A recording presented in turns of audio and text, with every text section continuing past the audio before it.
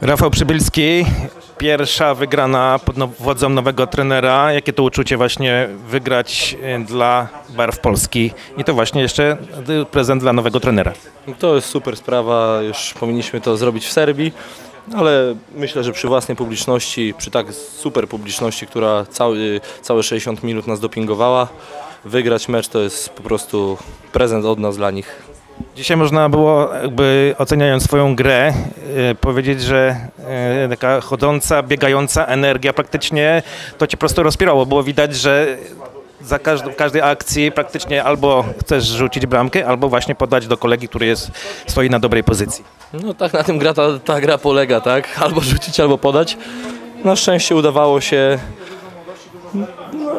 Mamy młody zespół, biegamy cały czas, każdy chce ciągnąć jak najbardziej do przodu. Pociągnęliśmy znowu, tak jak w Serbii, tyle kontr, że myślę, że to będzie atutem tego zespołu, że będziemy biegać i, i, i, z tego zdobywać łatwe bramki. No i tylko dalej musimy jeszcze dużo poprawić, bo druga połowa była średnia w naszym wykonaniu. Nie wiem, co, co, co, co na to zaowocowało, ale mam nadzieję, że jak na 7 dni treningów przed takimi meczami, przed turniejem, przed tymi meczami, to, to i tak wyglądaliśmy dobrze. A jak się gra, w sumie to nie jest żadna tajemnica, ale to według y, ciebie przed taką wspaniałą publicznością w Ergo Arenie? No to jest po prostu najlepsze przeżycie, jakie można przeżyć.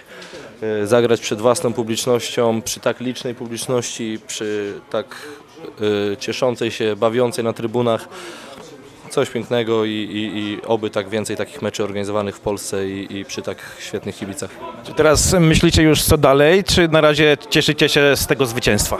Na razie cieszymy się z tego zwycięstwa. Kolejne zgrupowania, zobaczymy kiedy, co i jak. Na razie nic nie wiadomo, także czekamy na następne powołania, zgrupowania i, i, i pracujemy dalej i walczymy dalej.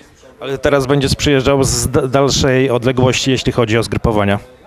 Tak, ale to nie robi różnicy, będę przylatywał pewnie, także nie ma problemu. Dziękuję bardzo.